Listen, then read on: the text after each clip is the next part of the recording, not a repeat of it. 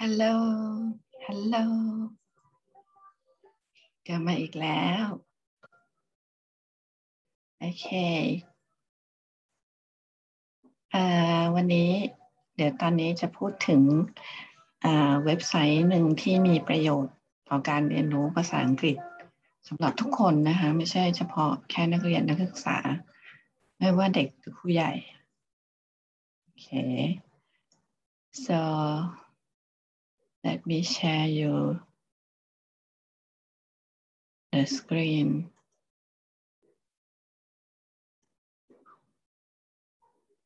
ใช่แล้ว British Council อันนี้ British Council มีเว็บไซต์ที่จัดทำเฉพาะ learning English นะคะถ้าเกิดว่าเราเข้าไปเซิร์ชหาคีย์คำว่า learning English แล้วก็ British Council แล้วก็จะเข้ามาเจอในในหน้านี้วันนี้ในหน้านี้เนี่ย อืม ถ้าเกิดว่าดู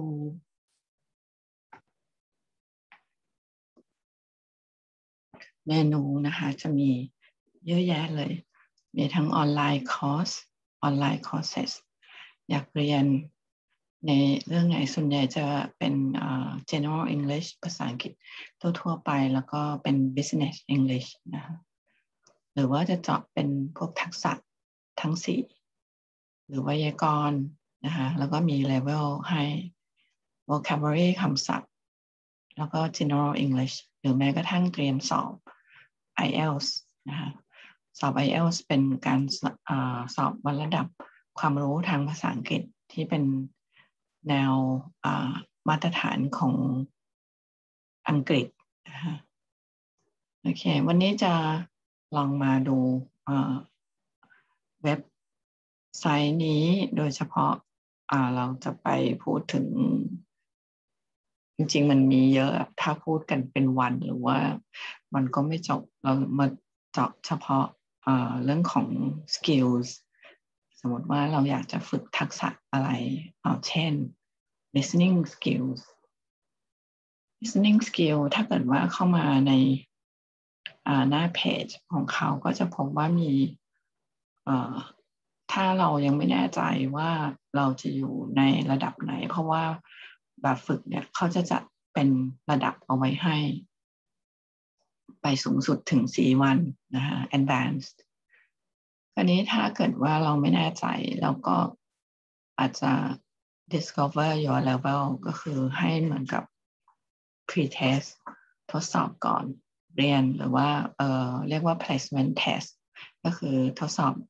รู้ว่าเราจะอยู่ในระดับไหนนะคะอันนี้สำหรับทักษะการการฟังเราจะลองคลิกให้ดูตัวอย่าง ถ้าเกิดว่าเรื่องของฟังเนี่ยเขาก็จะมีแบบ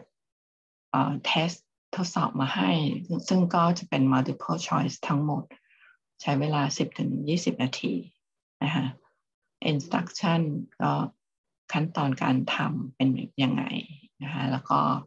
ผลพอหลังจากที่ทำแล้ว ผลเนี่ยก็จะโชว์ออกมาแสดงมาเลยทันทีนะคะว่าเราอยู่ระดับไหน beginner ถึง pre intermediate คือเป็นเริ่มต้นหรือว่าก่อนระดับกลาง intermediate ระดับกลาง หรือเป็น upper หรือว่าสูงกว่านั้นนะคะพอเลื่อนลงมาเรื่อยๆ เราก็จะเห็นตัวออนไลน์ level test ตัวนี้ก็ให้คลิกที่ start แล้วก็ทำได้เลยนะทีนี้ เอ่อจะไม่ลงไปพาไปดูนะว่าแบบทดสอบของเขาเป็นแบบไหน แต่ว่าพอทำไปเรื่อยจนจบก็ผลก็จะแสดงมาทันทีเลย ว่าเราอยู่ในระดับไหน อันนี้สมมติว่า listening skill เมื่อกี้เราไปทำแบบทดสอบเรียบร้อยแล้วเรารู้ว่า เราอยู่ในระดับไหน เราก็มาเริ่มดูลุย ตั้งใจว่าเอาเดือนนี้หรือว่า ช่วงนี้พอมีเวลาเราก็จะเริ่มฝึก สมมติว่าเราทำเทสเรียบร้อยอยู่ในระดับเบื้องต้นอยู่ beginner นะคะก็คลิกเข้าไป ในช่วงแบบหัดของ beginner เนี่ยถ้าเทียบกับ CFR ระดับ A1 นะคะก็มีแบบฝึกหัดให้เยอะเลยนะคะคือออย่างเช่นใน ชุดแรกเนี่ยเป็น a request from your boss นะหัวข้อนะคะก็สามารถที่จะอันนี้ยกตัวอย่างของนี้นะคะมีหลายหัวข้อเลย ไปจนถึง meeting other students shopping first English class โอเคลองดูหัวข้อแรก request from your boss มีภาพประกอบนิดนึงนะคะอันนี้เวลาเข้ามาเนี่ยอาจจะคลิกดูว่าเราจะเตรียมตัวทำแบบหัดหรือฝึกกับแบบฝึกนี้แบบไหนนะคะเขาจะมี ให้เราลองมาจัดกลุ่มนะคะเหมือนกับเป็นพวก familiarize yourself อย่างเงี้ยค่ะไอพวกคำศัพท์กับบริบทกับ context นะคะ take your time จะอยู่ในกลุ่มไหนก็คือจับจับมาใส่จับมาใส่ เออ ใช่ไหมโอเค now ก็เป็นการ drag เลือดแล้วก็คลิกนะคะแบบฝึกหัดก็จะคล้ายกันมันจะเป็นให้ drag แล้วก็คลิกวาง โอเค finish แล้วก็จะโชว์ผลทันทีคราวนี้พอเราจะเริ่มฝึกนะคะ ถ้าจะฟังอย่างเดียวไปก่อนก็ได้ก็คือคลิกฟังเลย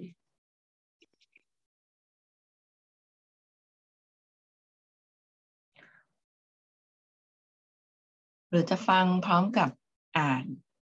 นะคะก็กด transcript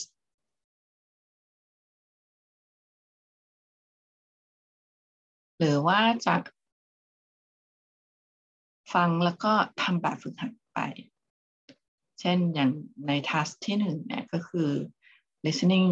A1 ของเขาก็คือจะให้ลองฟังแล้วก็ match the beginnings กับ endings ของ phrase นะฮะว่าเอ๊มันเป็นเรื่อง send an email เรื่อง visit การจอง invite people หรือเปล่าโอเค อันนี้จะค่อนข้าง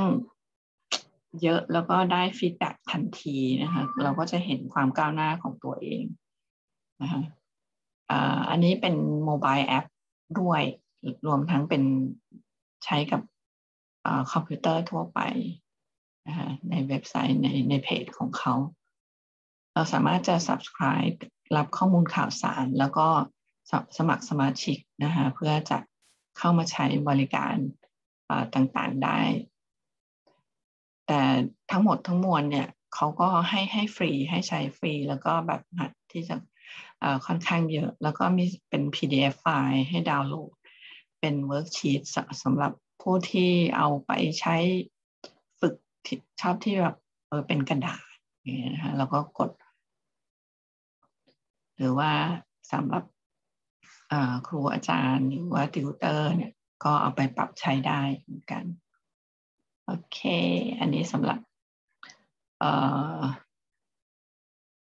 listening skills นะคะมันก็มีทั้ง reading writing speaking นะคะที่น่าสนใจแล้วก็เป็นประโยชน์สำหรับผู้เรียนรู้ภาษา ลองดูนะ อันนี้สำหรับวัตถุประสงค์เพื่อการเรียนรู้ภาษาเท่านั้นนะคะ Okay, that's it.